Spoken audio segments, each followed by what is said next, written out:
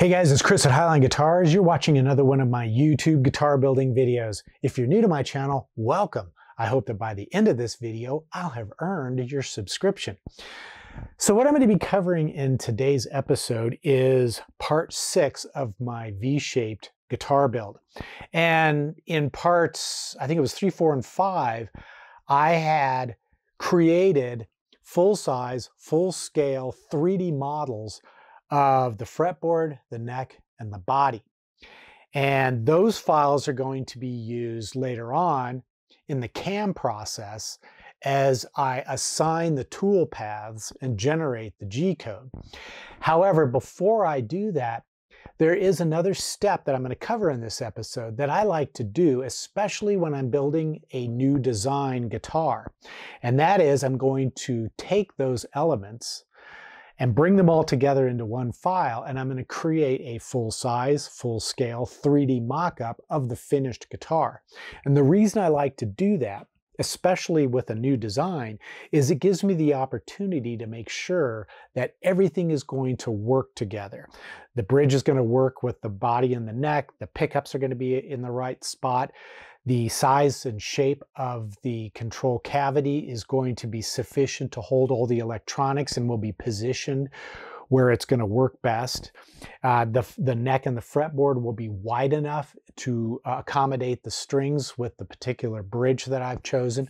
These are all little details that if you don't get them right, if you build the guitar and discover you've got a problem, there's not much you can do to fix them. If the strings are falling off the sides of the fretboard, your neck isn't wide enough. You're going to have to start over. And if the neck isn't sitting uh, deep enough into the pocket or maybe not, uh, or it's sitting up too high, you're going to have to figure out ways that that can be solved. And in most cases, you have to start over. So building this full-size, full-scale 3D mock-up on my computer is going to let me check all those different issues and make sure that everything's going to work well. So let's jump on the computer and put together a full-size model of this guitar. The first thing I'm going to do is create a new document in Rhinoceros 3D. And I'm using version 5 on an iMac. Uh, that's an older version, but it works. Then what I'm going to do is I'm going to import each of the elements that I created previously and I'll start by opening up the 3D file that I created for the body. And I will then select all those elements and then copy them so that I can bring those over into the new file that I've created. And then I'll just paste it into that file and it comes in as a wireframe. So what I can do is uh, change the view to the rendered view and this is how it looks. Sort of a, a gray 3D model. Next I will start working through opening and copying the other elements. So the next one up is the, the neck. So I'll open up that file and you can see it here and it's a reverse headstock so the tuners are on the bottom edge of the headstock so again I will select all those elements and I will copy them and I can close the neck file and then paste it into the uh, the new document with the body. Now, oftentimes when you paste these elements in, they're not going to be in the right position. Uh, they are in this case because of the way I built these files, but if they're not, you can just move them around and position them where they need to be. Next, I'm going to grab my fretboard. And this 3D model is just the perimeter shape and the radius as well as the front shelf where the Floyd Rose nut is going to sit. So I will select all those elements, copy them, and then I can close this file and then paste it into my new document just like I've done the other parts. And it's drops in right where it needs to go in this case. I don't have to move anything around. Then what I'm going to do next is I'm going to select I've actually created a file for the inlay and this is just so I can see where the inlay is going to be positioned on the fretboard. And so I've created that file. And what I'll do is I will select all those elements and then I will copy it.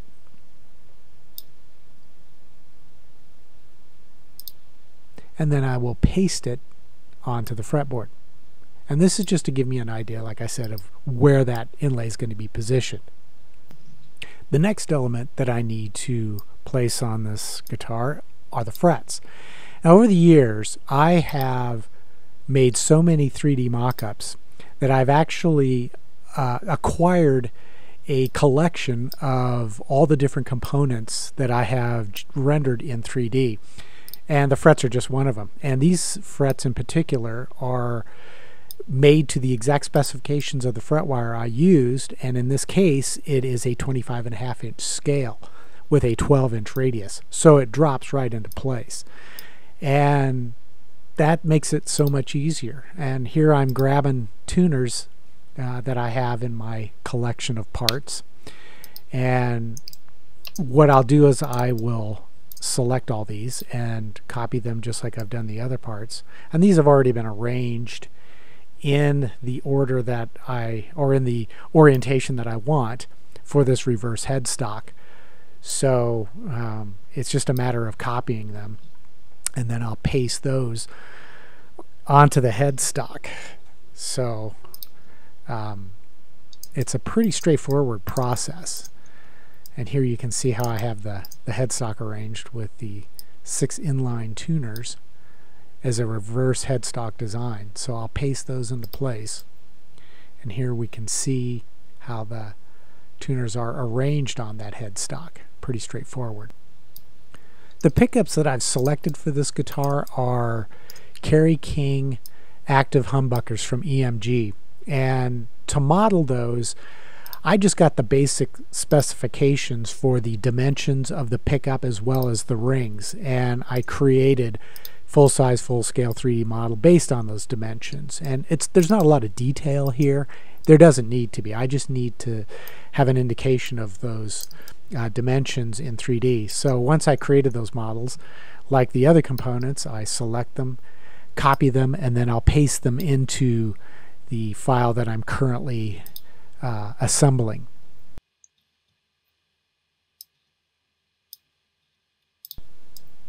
And then the next item I need to add to my full-size mock-up is the bridge. And as it turns out, I have a Floyd Rose 3D model that I created years ago that is based on a 25 and a half inch scale length with a Floyd Rose nut and I've also uh, rendered the strings, and I actually rendered the strings in the gauge that I'm going to be using for this guitar, and I think these are 10 gauge strings.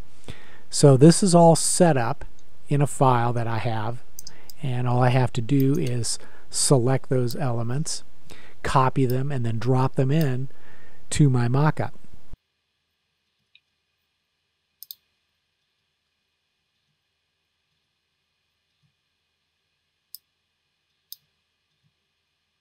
And now you can really start to see how this guitar is going to lay out. However, I still have one more element that I need to place into this mock-up, and that is the switch and the knobs. And that is going to help me to make sure that I have my control cavity laid out in a manner that's going to work the way I want it to. So I'll open up my file that I created, and this is just a switch and a couple of knobs and I'll select those like I've done the other components, copy them, and paste those into the mockup.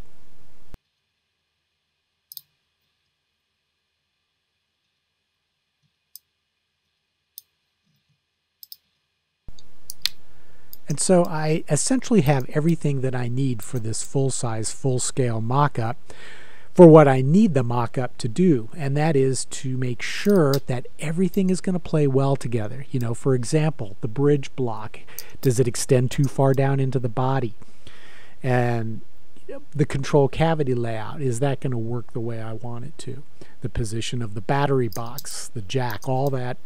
I can double check it just to make sure it's going to work right. And another element that is important that I need to check is um, that the tuners are going to be positioned correctly so that they aren't running into each other or uh, you know possibly uh, causing some issues with how the strings are going to run from the nut down to each tuner. Now I could of course extend the strings down down to each tuner, but uh, it really isn't uh, terribly necessary at this point. I've I've actually done that before in Illustrator.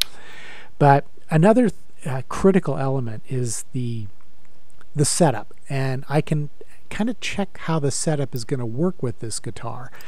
And with a Floyd Rose tremolo, the setup it's it's not super hyper critical at this stage because the bridge is going to be recessed into the body.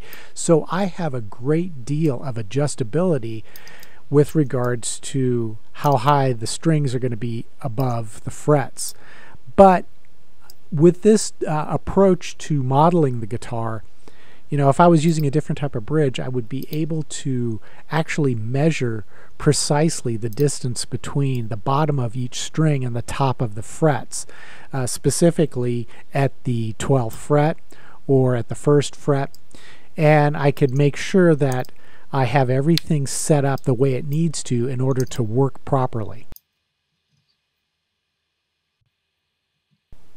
Now, another benefit to modeling in 3D is you have the ability to visualize what the finished guitar is going to look like by assigning different colors and textures and materials to each of the elements in the rendering. So you can get an idea of how your finish is going to look. And in this case, I'm going to be painting the guitar a flat black, both the body, the neck, and the headstock uh, all the uh, different elements, the bridge, the pickups, and everything are also uh, black hardware. So you, can kind of get a feel for that. And that can be beneficial if you're building the guitar for somebody else and they want to see what the colors are going to look like before you actually start to apply the finish.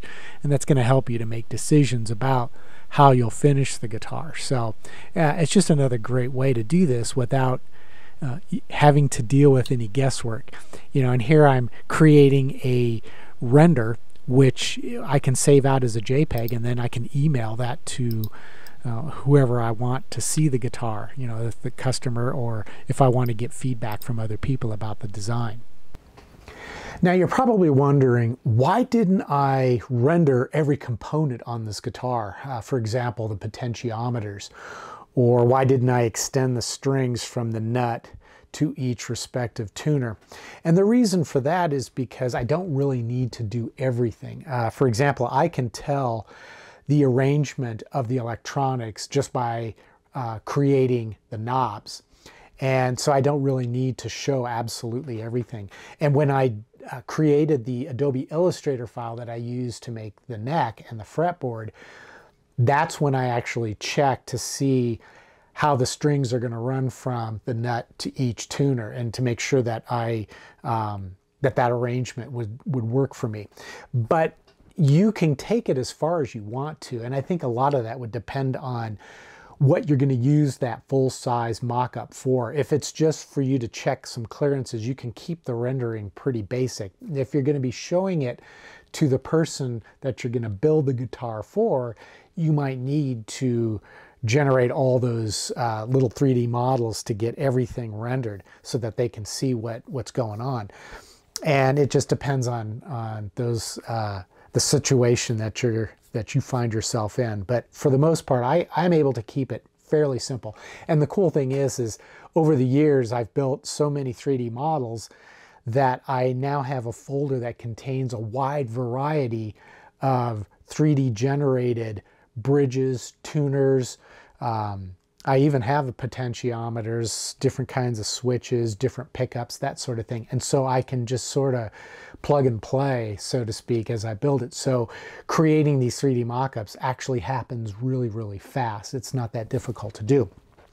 So in uh, hopefully you've enjoyed this this uh, episode. I know it's um, this is kind of a controversial topic for a lot of folks because I'm not building a guitar by using uh, uh, templates and my bandsaw and hand planes and doing all that kind of stuff, you know, the old school way of doing it.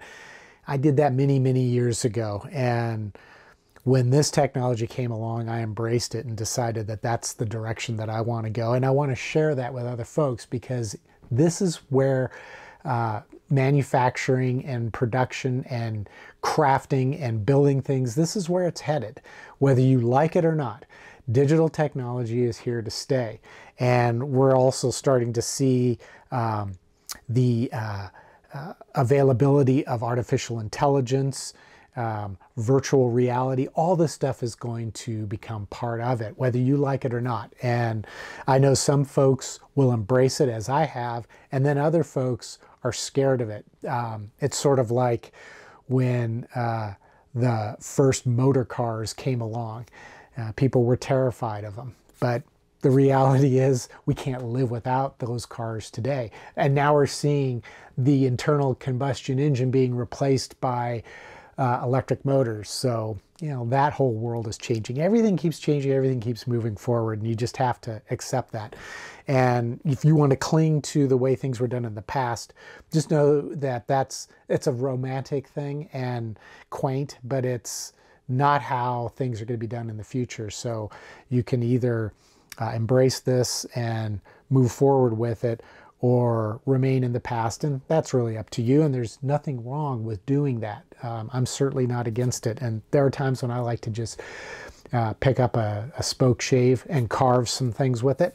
But, you know, when it comes to building guitars, uh, I'm really enjoying this approach to doing it. So, um, you know, if you want to criticize me for that in the comment section below, just remember you're probably inputting your comments using a very high technology device and uploading it through the internet, you know, over satellites and all kinds of stuff. So, you know, you would be better served, I think, to write your comment with uh, a Crowquill pen using um, handmade ink on handmade paper and then hopping on your horse and riding over to my house and delivering it to me in person. But yeah.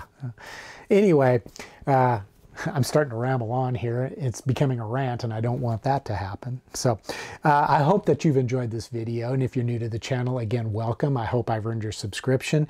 Uh, regardless, uh, please consider clicking that thumbs up button. That always helps.